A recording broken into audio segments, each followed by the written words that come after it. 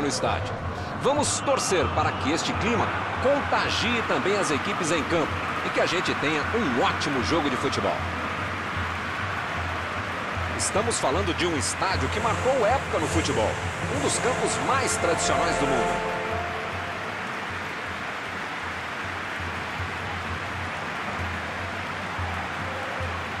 O Corinthians vai de três na defesa e cinco no meio. O que você acha desta estrutura aí, Mauro? No Brasil é quase que um crime jogar com três zagueiros, imaginem com cinco. Isso, claro, a partir da metade dos anos 80.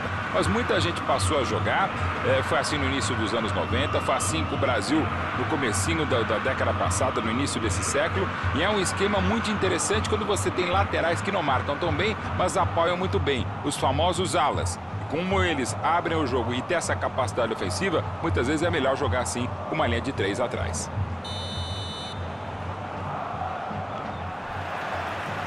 Pronto. Juiz autoriza e a bola rola.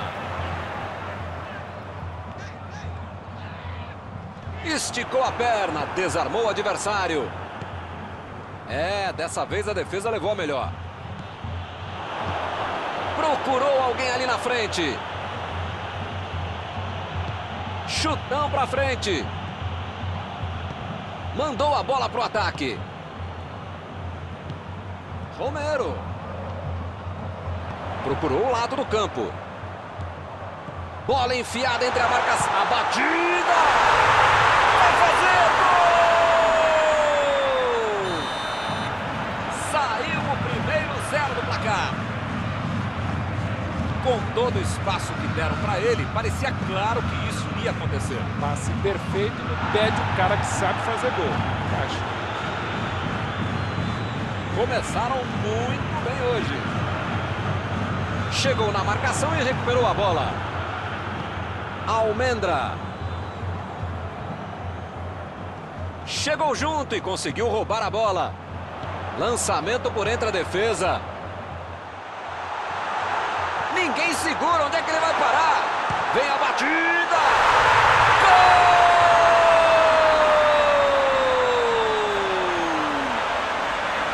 Opa! Que beleza!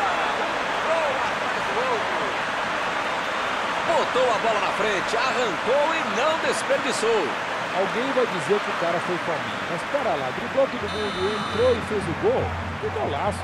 É isso mesmo, tem que fazer tudo sozinho mesmo. Muito mais tranquila com dois gols de vantagem. Tem aquela bobagem de dizer que 2 a 0 é um placar perigoso. 1 a 0 é mais perigoso, né? Agora é só ficar esperto. Né?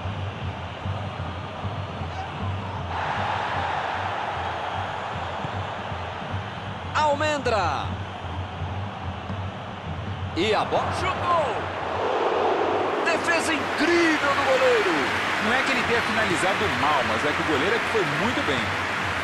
E Yuri Alberto. Quinteiro. E Yuri Alberto. Vem o passe. O jogo está parado. Marcado o impedimento.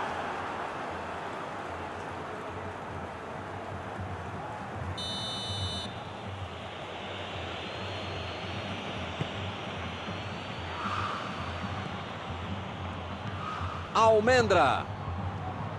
Zuculini. Almendra. Quinteiro. Olha lá lá, vem vindo para o meio da área. Apita o árbitro, fim da primeira etapa. Impressionante, Milton, o ritmo, a intensidade e a qualidade do jogo. Um espetáculo maravilhoso. Pode chamar a família inteira, grava aí, que vai ser difícil repetir uma partida tão boa como essa. Vitória tranquilíssima no primeiro tempo. Vem a batida! Que perigo! Essa foi por pouco. Marcar a saída de bola é fundamental para o sucesso um time. Almendra.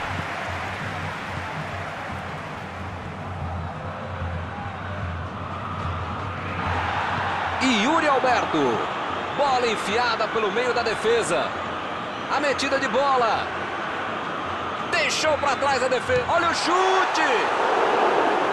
Opa, que beleza. A jogada por dentro foi ótima. Faltou só uma conclusão no mesmo nível.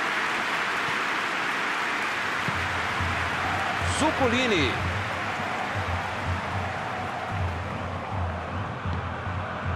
O Corinthians tem dois gols de vantagem. Alex.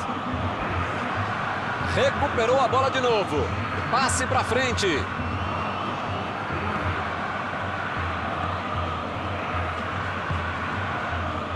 Saiu pela lateral.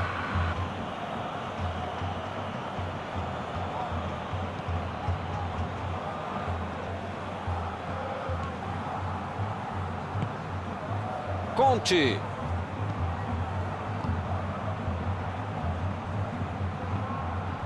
A posição é boa. A metida de bola pela direita.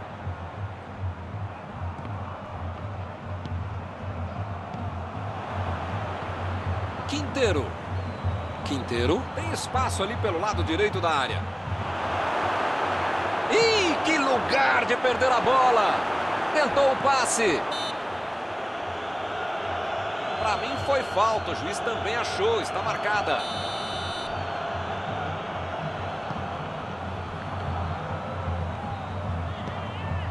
Fagner.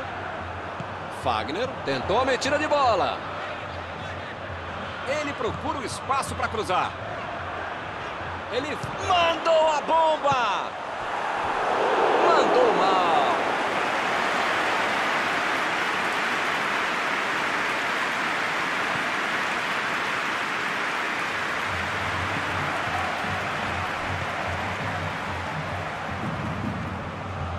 Zuculini.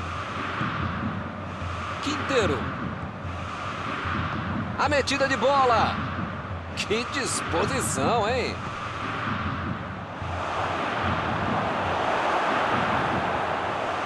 O Racing vive um momento de pouca criatividade na hora do último passe. Precisa tentar alguma coisa diferente para dificultar a vida da defesa do adversário. Esse é um tiro direto, é sempre perigosa a bola parada. Frontal ao gol. Estava claro que ele ia receber o cartão amarelo. Culpa, na verdade, foi do time. Os caras estavam com a cabeça e o corpo lá na lua. Deixaram a cozinha escancarada e não tinha outro recurso. Quinteiro! Gol! Golaço! Com muita categoria. Apita o árbitro, fim da partida. Que sufoco no finalzinho, hein? Mas mesmo assim garantiram a diferença de um gol. Algum comentário sobre a partida de hoje? Buscaram o resultado, foram melhores o jogo todo e mereceram. Chegamos ao final de mais uma cobertura ao vivo desta noite. Mauro, muito obrigado. É sempre um prazer enorme e também um dever estar com você, Milton Leite. Um abraço a todos.